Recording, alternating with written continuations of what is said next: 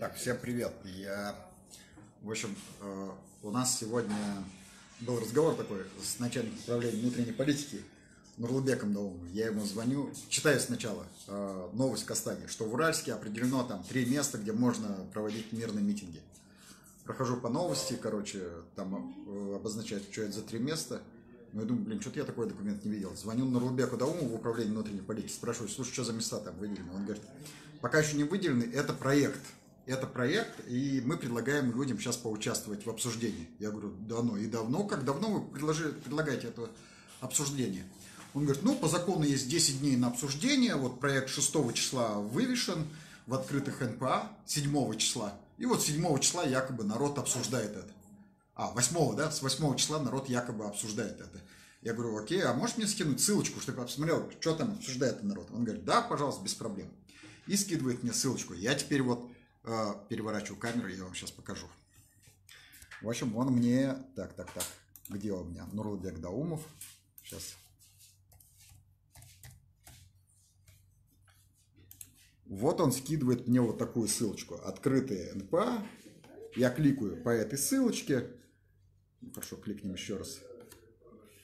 И прохожу, да, вот сюда.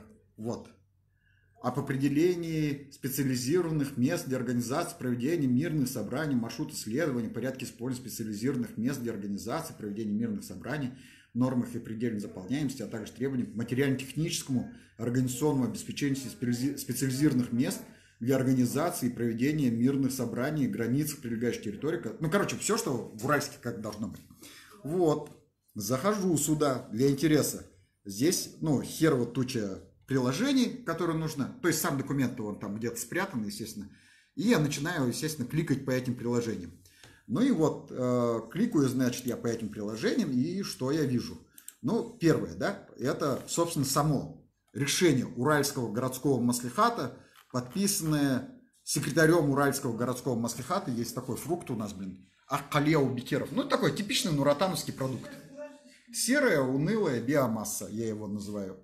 Э, знает, единственное, что знает господин Аубекеров, это слово нельзя и запретить. Ну, такое, знаете, если во время э, гитлерской Германии, если бы он был бы истинным арийцем, из него вышел бы нехилый такой гестаповец. Короче, вот этот гестаповец. А я другого слова не нахожу, блин. Но ротанский для меня это все такие гестаповцы по определению, блин. Короче, он пишет здесь об определении специализированных мест, та-та-та-та-та-та. Решил, да, определить специализированные места.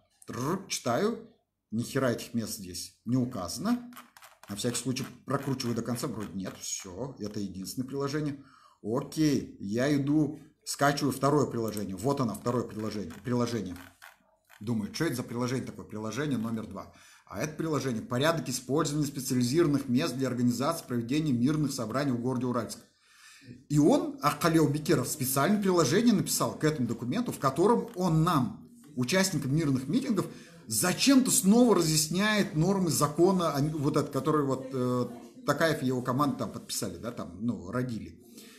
И здесь главное, он что-то еще от себя тяну гороет. Он говорит о том, что при использовании специализированных мест для проведения мирных собраний организаторы, участники имеют право там, да, ну и пишет там, ну, уси, э, используя звукозаписывающую, звукоусиливающую аппаратуру и так далее.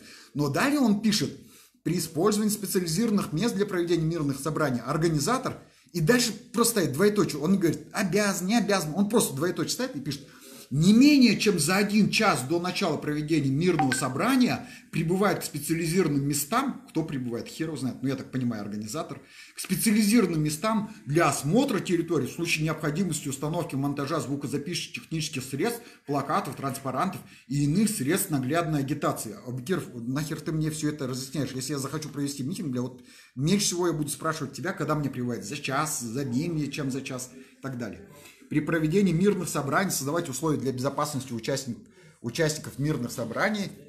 Сейчас, секундочку. Уж тогда мы физиономию разглядывать все-таки лучше, чем в вордовский документ читать, э, разглядывать.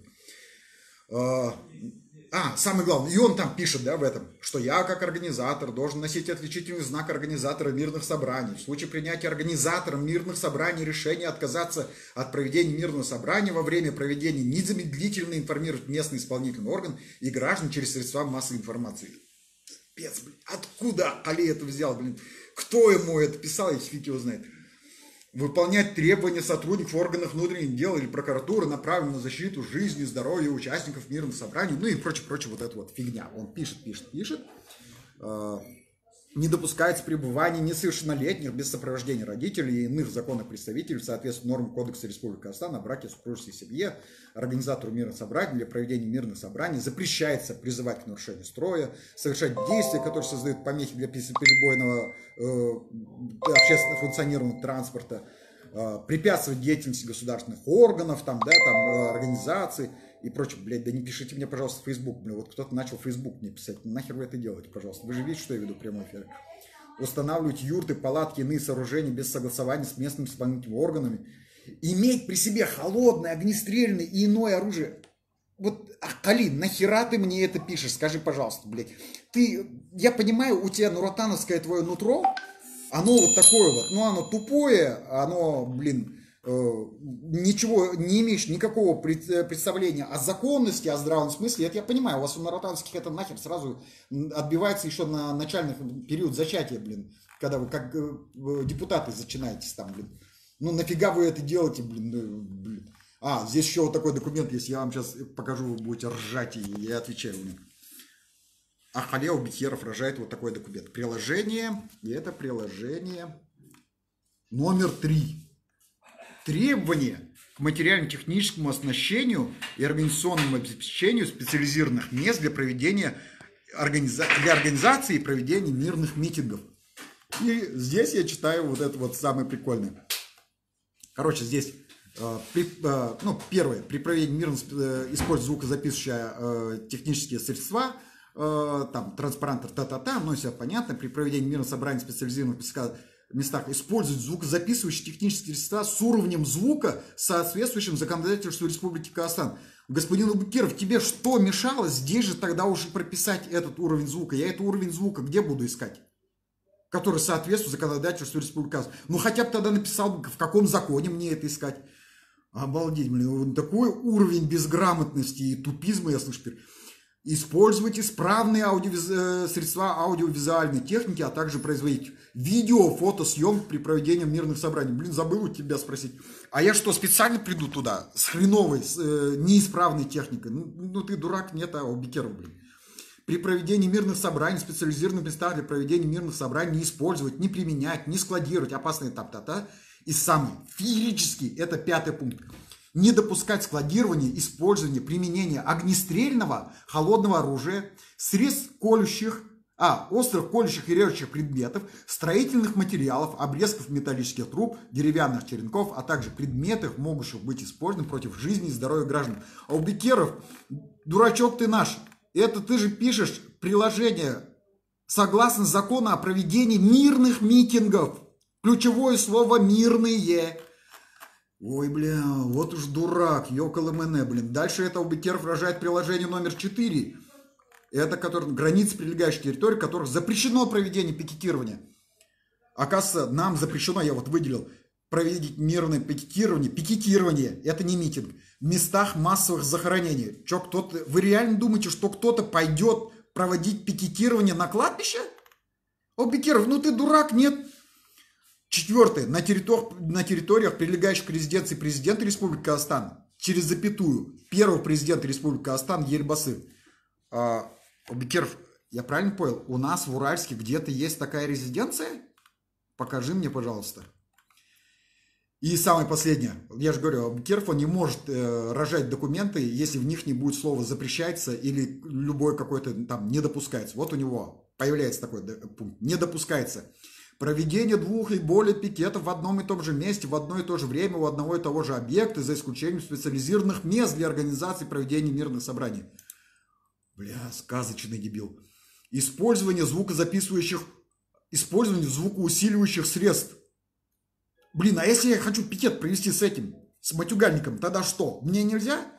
Проведение пикетирования на расстоянии 150 метров прилегающих территории объектов, у которых запрещено проведение пикетирования. Слава богу, хоть расстояние уточнил. Ёккалэмэне, блин. И, наконец, мы приходим к самому важному. Приложение номер один. Он самый последний, кстати, файл, который там нужно скачать. И здесь указывается у нас самое классное.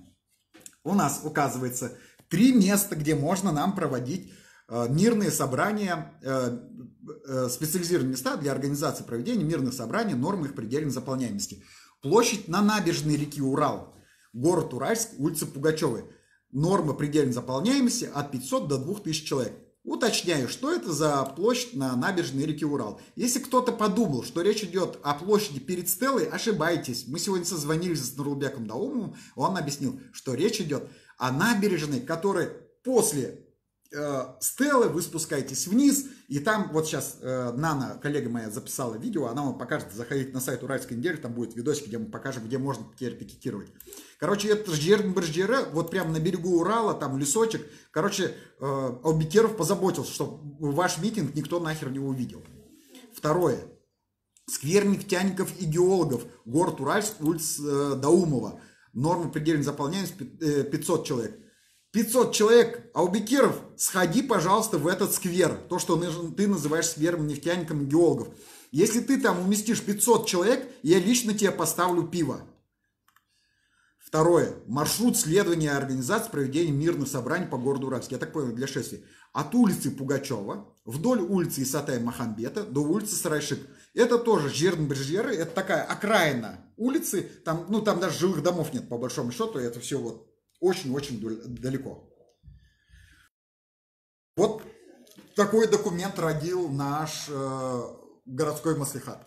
И предлагает нам этот документ обсудить. Э, Аубекеров э, вы первый раз я буду за время этого видео обращаться к вам на вы, потому что помимо вас, я имею в виду всех, все вот это сборище ваше, Нуратановское, которое заседает в городском акимате, и которое этот документ в муках рожало, наверное. Вы же там последний из Вильна наверняка э, напрягли, блин. Вы же как-то там, наверное, первый раз в жизни вы использовали вот этот вот кучку нервных клеток, ваш ганглий нервный, который у вас там э, функцию головного мозга исполняет, вы сейчас напряглись, блин, и родили вот этот документ в потугах.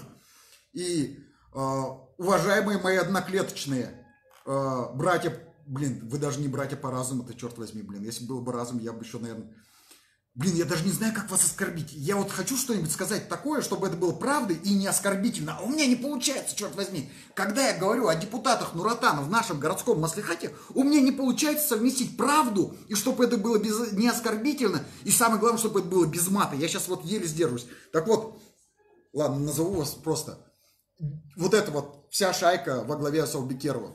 Я к вам сейчас обращаюсь. Вы напрягли вот эту вот э, свою нервную систему, родили вот этот документик, блин, какой-то, несколько документов даже. Это, наверное, блин, я не знаю, вы рекорд, наверное, установили, вы первый раз только написали, ядрит Мадрид, блин. То есть по ним распилу бюджет, вы сейчас первый раз что-то делали как депутаты, но депутаты, ну, опять-таки, вы сделали, естественно, как по-нуратански, сработал ваш безусловный рефлекс, и вы создали максимально неудобный документ. И вот, вы создали вот этот неудобный документ. А, предлагайте нам его обсуждать. Вы знаете, я готов обсуждать то, что хоть как-то дружит со здравым смыслом. То, что сделали вы, это не дружит ни со здравым смыслом, ни с логикой. Будьте, ребята, будьте добры. Пока вот над вами народ не стал ржать, убирайте этот документ и по новой что-нибудь там. Ну хорошо, пригласите меня. Я так и быть. На общественных началах я готов вам написать нормальный документ, где будет вот все для народа и так далее и тому подобное. Но вы же этого не сделаете, блин, черт возьми. У вашего вот, в ваш крохотный вот этот головной мозг такая мысль, ну, просто не поместится. Это слишком велико для вас, блин. Большая мысль, черт возьми.